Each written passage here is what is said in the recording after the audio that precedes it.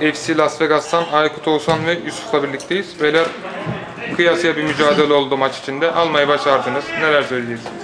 Valla kıyasıya bir mücadele ismini koymak bence doğru değil. Yani oyunu biz oynadık. Ee, sadece karşı takımın e, nasıl çirkef, çirkefli, çir- çok çirkef oynamaları. Hem takımı bozdu, hakemi dinlemediler. Yani e, oyun kurgusu diye bir şey yoktu. Hani bizi de bozdular, herkesi bozdular. Yani biz rakiplerimizi bekleriz ama doğru düzgün rakipleri gelirse seviniriz. Teşekkürler Oğuzhan. Aykut sen bir şeyler söyleyecek misin?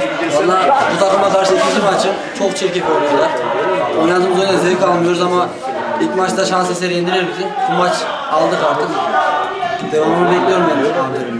Teşekkürler Aykut. Yusuf sen neler söyleyeceksin? Arkadaşlarımın ayaklarına sağlık. Çok iyi Acıların topçusu. Çok iyi bir maçtı. Yani Yavuz abiye çok teşekkür ediyorum. Ayağına sağlık. Olmazsa hiç bol yiyeceğiz. Teşekkür ederiz. Yeni Sağ olun.